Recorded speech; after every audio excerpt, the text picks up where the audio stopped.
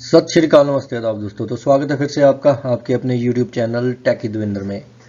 तो last video में हमने देखा था कि कैसे हमने एंगुलर में अलग अलग तरह से कंपोनेंट्स बनाए थे। तो आज हम देखेंगे कि उन कंपोनेंट्स में अगर हमें डेटा बाइंडिंग की ज़रूरत पड़ती है, जी हाँ बाइंडिंग की। बाइंडिंग मीन्स कि अगर हमें कंपोनेंट को डेटा सेंड करने की ज़रूरत पड़ती है या कंपोनेंट से डेटा लेने की ज़रूरत पड़ती है जो उसमें कंट्रोल लगे उनको डेटा सेंड करना है या रिसीव करना है तो कैसे हम उसे बाइंडिंग के थ्रू सेंड या रिसीव कर सकते हैं? तो चलिए बिना किसी देरी के शुरू करते हैं।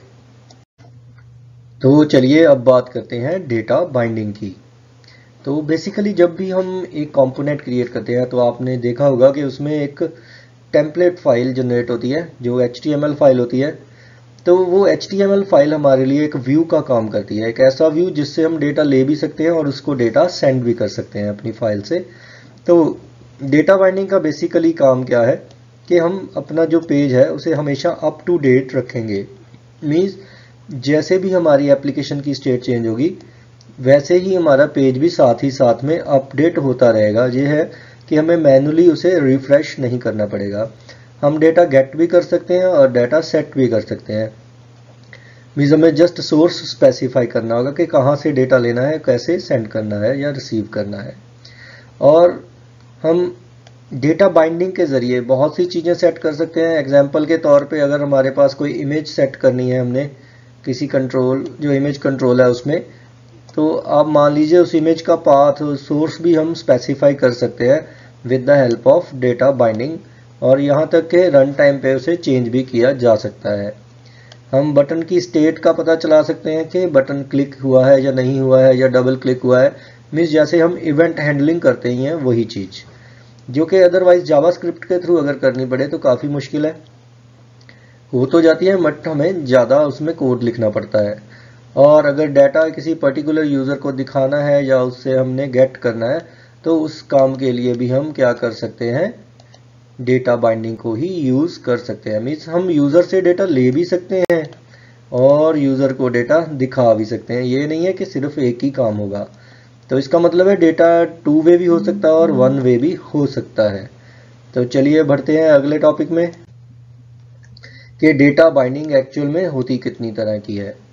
तो एंगुलर बेसिकली आपको क्या प्रोवाइड करता है? तीन कैटेगरी प्रोवाइड करता है डेटा बाइंडिंग की। और वो भी किस चीज़ पे डिपेंडेंट है? डेटा के फ्लो पे। तो हमारे पास कौन कौन सी फ़ाइल थी? जो टी एस फ़ाइल थी, उससे हमने देखा था इंटरप्लेशन के ज़रिए हमने डेटा सेंड किया था। वो भी एक तरह की डेटा बाइंडिंग ही थी। तो व्यू हमारा क्या है? हमारी एचटीएमएल की फ़ाइल है, जिसे हम टेम्पलेट कहते हैं। तो सोर्स कहाँ पे हम स्पेसिफाई करते हैं? ज़्यादातर तो हम टी एस फ़ाइल में ही स्पेसिफाई करते हैं। तो पहली तो भाई हो गई हमारे पास डेटा बाइंडिंग के टाइप जो सोर्स से हमारे व्यू की ओर जाएगी कि हम डेटा को सिर्फ़ देखेंगे। दूसरी हो सकती है कि हमारे व्यू से सोर्स की ओर आए। ठीक है? मीन्स हमारी एचटीएमएल फ़ाइल है जो टेम्पलेट फ़ाइल है वहाँ से डेटा सोर्स की ओर आएगा। तो एक होती है टू वे सीक्वेंस मीन्स इसमें डेटा आ भी सकता है सोर्स से और सोर्स की ओर को डाटा वापस जा भी सकता है। मीन्स दोनों काम इकट्ठे हो सकते हैं। जैसे हम इवेंट हैंडलिंग के थ्रू उसे हैंडल कर सकते हैं बेसिकली तो चलिए आगे देखते हैं फिर। सो फ़र्स्ट टाइप आ गई भी हमारे पास। डेटा बाइंडिंग की, वो है one way from data source to view target तो हमारे व्यू की ओर को हम क्या करेंगे?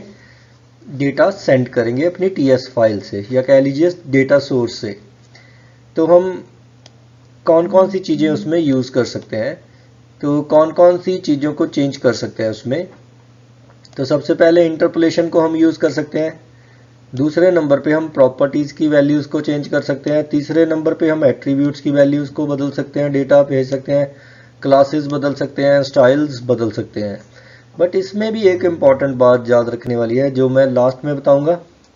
तो सबसे पहले सिंटेक्स देख लेते हैं। तो इंटरपोलेशन के लिए सिंटेक्स जो है, वो ये वाला है कि हमने डबल करली ब्रैकेट्स शुरू करनी है और डबल करली ब्रैकेट्स को बंद करनी है। मैंने पहले भी एक लेक्चर में बताया था कि हम ये चीज़ें चेंज भी कर सकते हैं। तो अगर आपने वो वीडियो नहीं देखी है तो वो भी देख सकते हैं। तो इसका लिंक मैं ऊपर दे दूँगा। तो दूसरी चीज़ आ गई कि properties attribute class and style को कैसे वैल्यू सप्लाई करनी है, उसके लिए मैं यूज़ करूँगा स्क्वेयर ब्रैकेट्स मीन्स यहाँ से हमारे डेटा सोर्स से व्यू की ओर डेटा जा रहा है। तो इसे हम क्या कहते हैं, जो स्क्वेयर ब्रैकेट है बॉक्स इंटेक्स तो जैसे लिखा ही है सोर्स टू व्यू हम डेटा को ट्रांसफ़र करेंगे। तो नेक्स्ट आ गया टाइप हमारे पास वन वे डेटा बाइंडिंग जो कि हमारे व्यू टारगेट से डेटा सोर्स की ओर। जी हाँ पहले था सोर्स से टार, टारगेट जो था हमारा वो था व्यू अब उल्टा है व्यू टारगेट से हमारे डेटा सोर्स की ओर डेटा आएगा। तो इसके लिए हम बेसिकली क्या यूज़ करते हैं? हमेशा इवेंट्स ही यूज़ करते हैं। और इवेंट्स अगर हमने एंगुलर में स्पेसिफाई करने हैं तो उसके लिए यूज़ होता है पैरेंथिसिस जिसे हम ज़्यादातर क्या कहते हैं बनाना सिंटेक्स भी कहते हैं। तो साथ में उसकी होगी स्टेटमेंट कि कौन सी चीज़ को हमने कौन से फ़ंक्शन को एग्जीक्यूट करना है। तो बहुत ही सिंपल है, हम प्रैक्टिकली ज़रूर देखेंगे कैसे इसे सॉल्व करना है। तो बस आगे बढ़ते हैं, तीसरी टाइप की ओर, जिसे हम कहते हैं टू वे डेटा बाइंडिंग तो इसमें दो चीज़ें आ जाती हैं इवेंट एंड प्रॉपर्टी ठीक है? पीछे था कि सिर्फ़ इवेंट उससे पीछे था, हमारे पास प्रॉपर्टीज़ भी थी, और भी चीज़ें थी इंटरप्लेशन वगैरह। तो यहाँ दो चीज़ों का मिक्सचर आ गया है। तो एक आ गया अभी हमारा इवेंट जो कि है बनाना सिंटेक्स हमारा, और दूसरी आ गई इसके, इस साइड पे हमारे स्क्वायर ब्रैकेट जिसे हम बोलते हैं बॉक्स सिंटेक्स जब दोनों को इकट्ठा कर देते हैं तो वो बन जाता है टू वे डेटा बाइंडिंग कि हम डेटा सेंड एंड रिसीव दोनों ही कर सकते हैं। तो बेसिकली इसे क्या कहते हैं? Banana in the box syntax तो ये एक तरह की टू वे डेटा बाइंडिंग है, कि डेटा सेंड एंड रिसीव हम दोनों कर सकते हैं। यहाँ पे इवेंट भी काम करेगा और इवेंट के साथ साथ एक वैल्यू भी अपडेट होगी। तो चलिए आगे बढ़ते हैं। सो नेक्स्ट इंपॉर्टेंट चीज़ है हमारे पास एचटीएमएल के attributes and document object model की प्रॉपर्टीज़ सो so, पहली चीज़ जो हमारे लिए याद रखने वाली है कि जब भी हम एंगुलर में काम कर रहे होते हैं तो बेसिकली हम सभी कंफ्यूज रहते हैं कि हम एचटीएमएल के एट्रीब्यूट को यूज़ कर रहे हैं कि डॉक्यूमेंट ऑब्जेक्ट मॉडल की प्रॉपर्टीज़ को. तो यहाँ पे ये बात बिल्कुल क्लियर है कि हम हमेशा डॉक्यूमेंट ऑब्जेक्ट मॉडल की प्रॉपर्टीज़ को ही यूज़ कर रहे होते हैं हमेशा.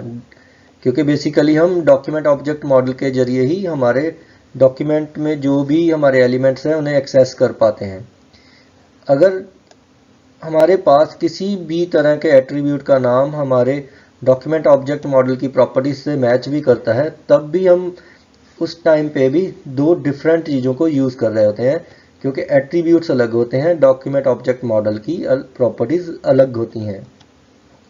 तो अगले पॉइंट में ये क्लियर है कि एचटीएमएल के एट्रीब्यूट्स को सिर्फ़ कब यूज़ किया जाता है?